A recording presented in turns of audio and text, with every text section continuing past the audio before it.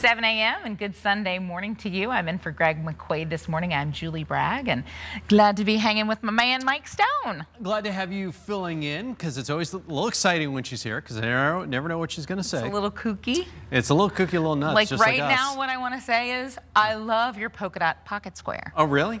Fantastic. It's so cute. Do you, would you like it? I don't know what I can do with it. Accessorize with that. Oh. yeah, that's actually pretty good. now, I feel naked now. Though. All right.